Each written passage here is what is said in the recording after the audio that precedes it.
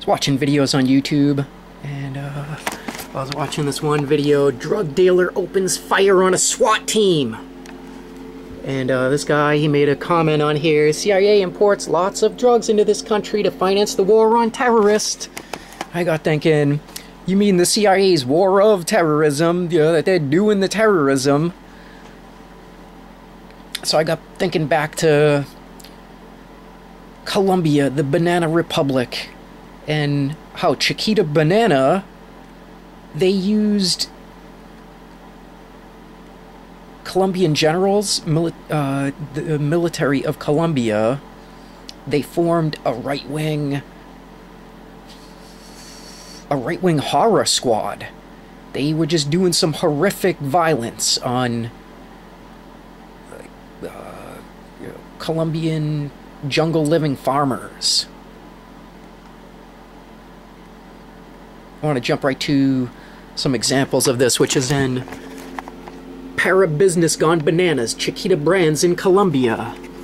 Every time you eat a banana, think about this story. By the mid 1990s, paramilitary chiefs had secured their autonomy through the production and trafficking of cocaine and combined their private armies to form the United Self Defense Forces of Colombia, the AUC. We're, we're going to get to those guys in a minute. United Self Defense Forces of Colombia. The Umbrella Group ruthlessly attacked any civilians su- suspected of harboring guerrilla sympathies. If they just sympathized with the people who were opposed to the people that, wait until you hear this, uh, they were opposed to what these people were doing. If you just had sympathy for these people who were opposed to the United Self Defense Forces of Colombia, let's get right to it. What, what did they do? They quartered victims with chainsaws, cut off their tongues and testicles, and poured battery acid down their throats.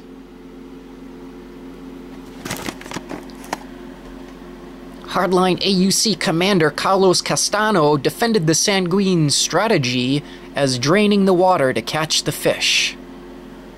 Oh, really? Chainsaw massacre on backwoods people for having sympathy. Because you're a bunch of chainsaw massacring fools of the United Self Defense Forces of Colombia. And, um, it, it seemed to me that I had found uh, some type of CIA connection to this a long time ago, and I can't remember what it was. So I had to dig deeper, and I had to figure out how these people were connected to the U.S. federal empire. These people who were working for Chiquita Banana, quartering people with chainsaws. To quarter somebody with a chainsaw means to cut them in four with a chainsaw. Like they cut them in half, and then cut uh, both of the halves in half. So, uh, I went out there and I read about how, or actually, I found a video. Found a video about how the CIA had done this very same thing in Gua- Guatemala. That Guatemala was a banana republic. The United Fruit Company. That's uh, this video. CIA, Guatemala, and Chiquita United Fruit Company. Another dirty Another dirty chapter of U.S. history. Stabbed. Yep, stabbed. Anyhow, um, I don't know, so I had to go out here. Oh, we're jumping ahead. I have to come back to that.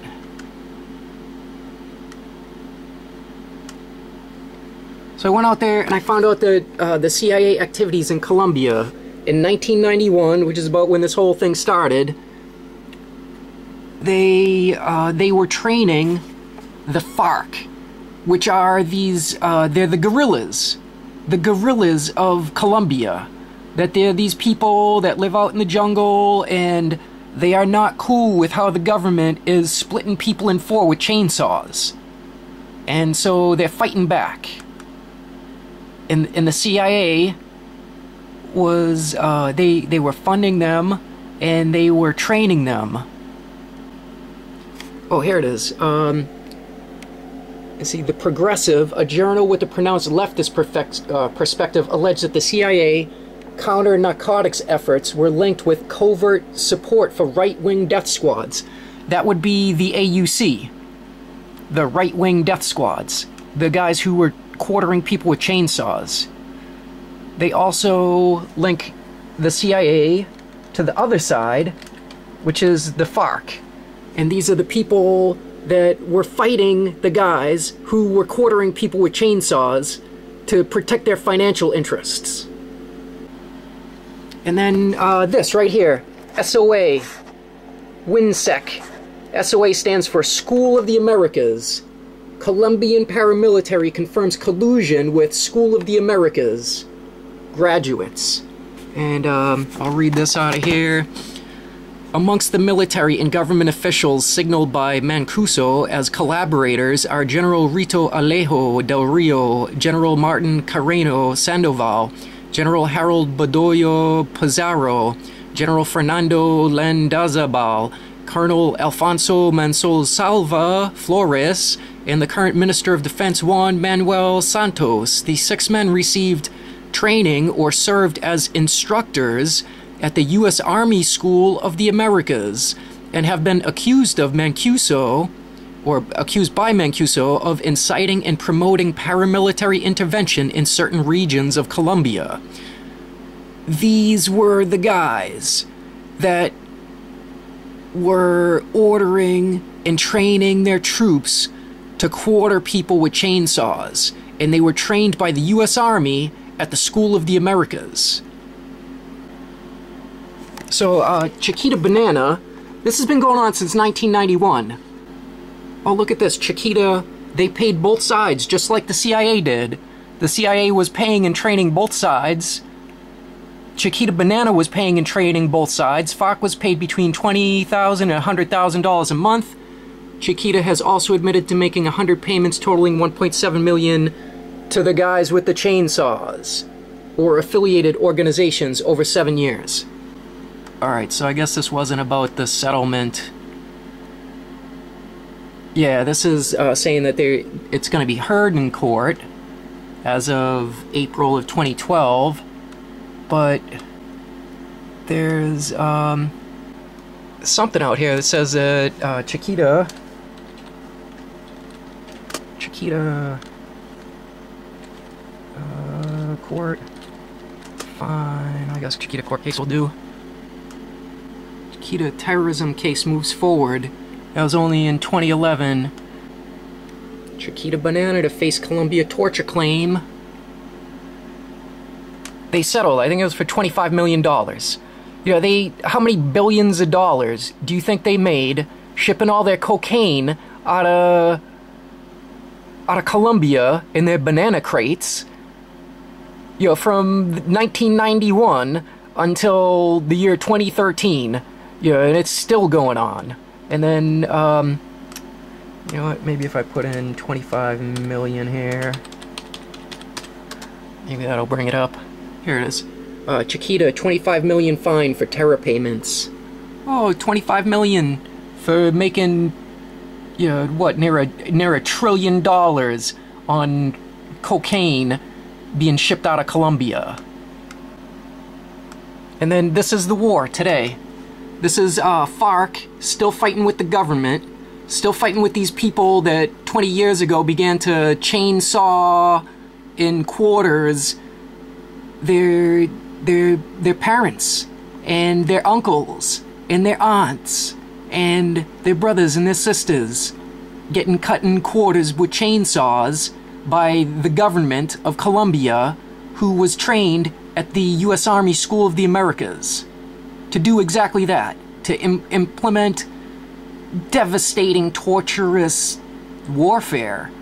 Uh, you know, at the time, it would seem like they were selling these people like, oh, if you just do this, then you know you'll you'll be able to dominate those people so very easily. But no, no. This is actually what what it uh, what the plan was from the beginning. Uh, I'll give you an example out of this. FARC rebels kill kill seven Colombian soldiers and blow the peace process. Well, you know, there's uh, out of seven soldiers, maybe you know, maybe one or two of them were sergeants, and so you know they got to replace them with some new recruits, and so their pay dropped, and so you know they they're not as costly, and you know they're not uh, they're not taking in that protection money that they used to, you know, and as new recruits they won't be able to. Colombia soldiers killed fighting FARC rebels. Colombia's FARC frees two policemen. Colombia FARC says peace talks advancing. 20 years later. 22 years later. Yeah, so, I don't know. That's what the CIA did. That's what they do. Yeah, they, uh, they, they fund both sides.